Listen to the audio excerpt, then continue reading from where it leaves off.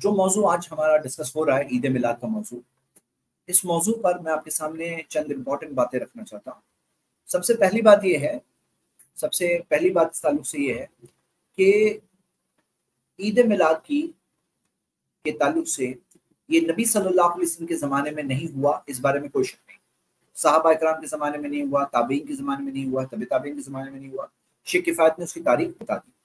तो यानी ये इस मौजू को अगर हम अलग अलग एंगल्स से देखें अलग अलग एंगल्स तो एक एंगल ये था कि हिस्ट्री के एतबार से जो बेहतरीन ज़माना है उस बेहतरीन ज़माने में ये ईद मिलाद का जो मामला जो आज मुसलमानों में ताम है ये नहीं हुआ।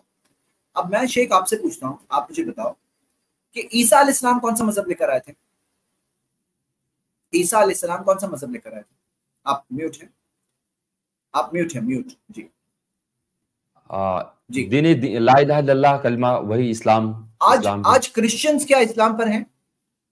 नहीं। आज हमारे जो क्रिश्चियन भाई वो इस्लाम पर हैं? क्यों नहीं है? क्यों नहीं है? क्योंकि तहरीफ किया उन लोगों ने किताबों में। चेंज कर दिया। ओरिजिनल बाकी नहीं रहा बदल गया। अब बदल जाने की वजह से क्या हो गया? आज एक अलग मज़हब पर वो लोग हैं। और ईसाइयों का क्या मामला था? नई नई चीज़ें लाना।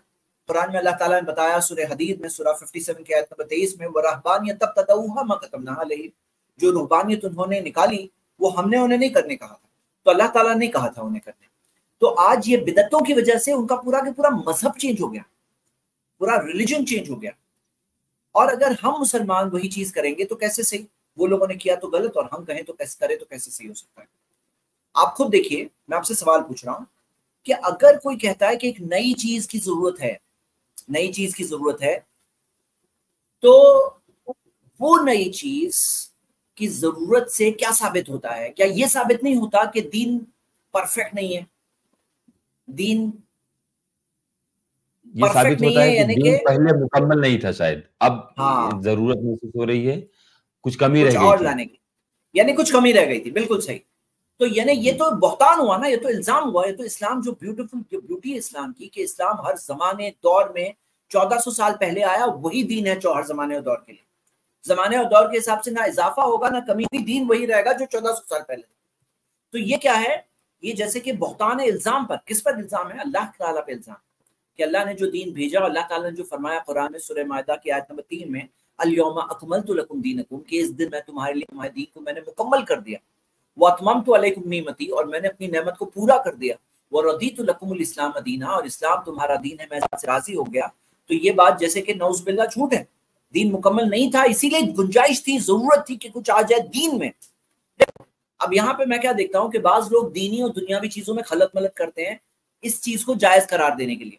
और मैं एक्चुअली वो सारे जो सवाल और कॉमन एतराज़ जो है ना, मैं उनमें नहीं जा रहा हूँ। मैं उसमें, उस बात में नहीं जा रहा हूँ। मैं चाहता हूँ पब्लिक पूछे वो सवाल जो सारे सवाल, जो सारे दलाल रखे जाते हैं इस मौजू पर, वो सारे दलाल सामने जो मुखालिफ पार्टी हो मैं देख रहा हूँ बात लोग कमेंट्स में भी है तो बहुत अच्छा आप आए हैं और हमें बात करनी चाहिए, और आइए फेस टू फेस बात करेंगे। आज हमारे पास बेहतरीन मौका है, एक लंबी स्ट्रीम है आज की ओपनिंग कमेंट अभी खत्म हो रहे हैं। अब ये मौका है कि आइए वन बाय वन सवाल लेंगे, और मेरा ये मानना है कि जो ब्यूटी है इस्लाम की, वो ओरिजिनल में है। इस्लाम की जो खूबसूरती है, वो किस चीज़ में है? वो ओरिजिनल में है।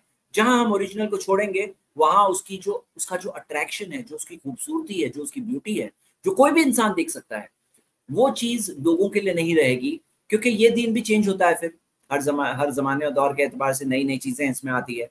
तो ये क्या बात है? ये एक ऐसी बात है, जिस चीज़ से कोई भी समझ सकता है कि, ओके परफेक्ट दीन नहीं है ये।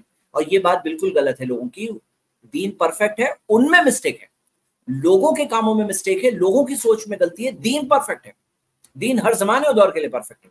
तो ये मैं आप सबके सामने बात रख रहा हूँ जैसे मैं कह रहा था अलग अलग एंगल से देखोगे अलग अलग एंगल से आपको ये चीज़ मिलेगी। पहला एंगल क्या मैंने बताया? पहला एंगल मैंने आपको बताया कि इसकी तारीख ही इसकी ये चीज़ साबित नहीं है। क्या साबित नहीं है? आ, किसने शुरू किया? के जमाने में नहीं था। और कब शुरू हुआ? तकरीबन 700 साल बाद जाके राइज हुआ तकरीबन। हाँ लोगों में आम हुआ 700 साल बाद। दूसरी चीज़ आप ये देखोगे कि तारीख के ताल्लुक से भी कई उलमा कराम ने कहा है? और जैसे मैं आपके सामने स्क्रीन पे ला रहा हूँ, एक मिनट ये जो इमाम इब्न कती रही वो इस बारे में लिखते हैं, अपनी किताब सीरा नबविया में, कि इमाम इब्न अब्दुल बर के मुताबिक, नबी सल्लल्लाहु अलैहि वसल्लम की पैदाइश दो रबी अव्वल को हुई थी। दो। बारह रबी अव्वल को लोग बना रहे हैं ना इब्न अब्दुल कहते हैं, नबी वसल्लम, इब्न अब्दुल बर रहमुल्लाह कह रहे हैं कि नबी दो रबी अव्वल को पैदा हुए थे। इब्न हजम कह रहे हैं कि नबी वसल्लम आठ रबी अव्वल को पैदा हुए थे। और अबू जाफ़र अल बाकिर उनसे हमें मिलता है कि वो कहते हैं कि दस रबी अव्वल को पैदा हुए थे। और ये इब्न इसहाक का कहना है कि बारह रबी अव्वल को पैदा हुए थे। और किसी का तो ये भी कहना है, इब्न अब्दुल बर ने नकल किया है कि वो रमज़ान के महीने में पैदा हुए थे और बाज कराम नौ रबी अव्वल का भी कहते हैं। तो ये सब जो इख्तलाफ है, क्यों इख्तलाफ था? अगर हर साल मनाया जाता होता तो फिर इख्तलाफ नहीं होता। यहाँ इख्तलाफ क्यों हो रहा है? इसलिए हो रहा है कि बात तय नहीं है ये मनाया नहीं जाता था, जो आज हमारे माशरे में आम है, वो पहले नहीं होता था। इसी वजह से यहाँ तक आके तारीख के ताल्लुक से इख्तलाफ तारीख के ताल्लुक से इख्तलाफ आगे आप ये भी देख सकते हैं कि एक और एंगल ये है कि नबी वसल्लम ने दो ईद मनाने के ताल्लुक से तालीम बताई। अगर तीसरी, चौथी, पांचवी ईद की गुंजाइश होती तो भी बताए होते। लेकिन नबी वसल्लम ने वाज तौर पर कहा, तुम्हें दो ईद मिली है। तीसरी ईद का तो कोई ज़िक्र नहीं मिलता हमें, या चौथी, पांचवी की कोई गुंजाइश नहीं मिलती। तो अल्लाह के रसूल की इस तालीम के भी खिलाफ बात जा रही और हम ये देखते हैं कि ये बात दीन में नई चीज़ है, इसके अंदर नई चीज़ की कोई गुंजाइश दीन में नहीं है, ये ये बहुत बड़ा एंगल है। एक और बात है, ये बर्थडे मनाना है। आपको पता है बर्थडे कौन लोग मनाते हैं? अच्छा बताओ, ईसा इस्लाम की बर्थडे मनाई जाती है, कब? कब? उनकी पैदाइश। पैदाइश, क्रिसमस के दिन हाँ 25 दिसंबर, बर्थडे मनाई जाती है। ईसा इस्लाम की बर्थडे मना रहे हैं क्रिश्चियंस। और आप देखो, जो लोग सारे इंसानी माबूदों की इबादत करते हैं ना, वो अपने गॉड्स की बर्थडे मनाते हैं, क्योंकि ये उनकी इबादत का हिस्सा होता है। अब वहाँ से वो सारे लोग बर्थडे मनाते आए थे। ये कोई अभी की बात नहीं है, क्रिश्चियंस हमसे पहले पुराने लोग हैं। ईसा इस्लाम नबी सल्लल्लाहु वसल्लम से पहले आ चुके हैं। क्रिश्चियंस में प्रैक्टिस चल रही थी बर्थडे मनाने की। अब वो प्रैक्टिस, वो अमल मुसलमानों में आया और हम ये कहें कि ये चीज़ कोई दुनियावी अमल नहीं है। ये एक इबादत है और इबादत के ताल्लुक से यही बात है कि भले ही जमाना गुजर जाए, बहुत लोग करने लगे तो भी आज बर्थडे बहुत लोग मनाते हैं अलग अलग मज़हब के लोग मनाते हैं, लेकिन इब्तदान ये एक धार्मिक प्रैक्टिस है, एक टाइप की इबादत है, जो सारे वो मज़हब वाले करते हैं, जो एक इंसानी महबूद की इबादत करते हैं। वो सारे लोग जो एक ह्यूमन गॉड की वर्शिप करते हैं, वो लोग बर्थडे मनाते हैं, ये उनकी इबादत का तरीका है। ये इस्लाम में कहीं नहीं है। तो मैं ये कह रहा हूँ कि वो जो जज्बा है ना, नबी सल्लल्लाहु अलैहि वसल्लम की मोहब्बत का जज्बा उस जज्बे को क्यों ना हम डायरेक्ट करें, हम डायरेक्ट करें इतबा की तरफ़, पैरवी की तरफ़। क्यों ना हम वही जज्बे से अच्छे काम करें जो साबित शुदा, क्योंकि फाइनली क्या है, शेख, हमारे पास एनर्जी कम है कि नहीं है? लिमिटेड है, महदूद है। हम सब कुछ तो नहीं कर सकते अब वही एनर्जी से या तो सुन्नत के काम करेंगे या वही एनर्जी से बिदत के काम करेंगे। दो में से एक ही कर सकते हैं। आदमी या तो वही ताकत से, वही जज्बे से सुन्नत की पैरवी करेगा या तो वही ताकत और जज्बे से बिदात करेगा। और बिदात के ताल्लुक से यही मामला है फहुआ रद सही बुखारी से मुस्लिम की हदीस है। मन अहदाफी अमरना हादा मा लैसा मिनहु फहुआ रद जो इस दीन में कोई ऐसी चीज़ आएगा जो साबित हिस्से में से नहीं है वो चीज़ रद्द हो जाएगी रिजेक्ट हो जाएगी। तो बिदत के ताल्लुक से यही हकीकत है।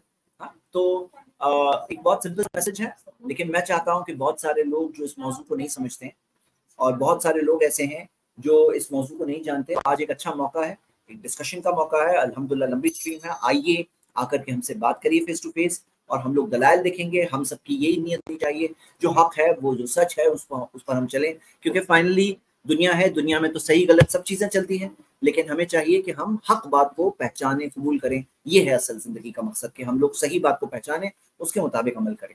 हाँ जजाकल्ला खैर।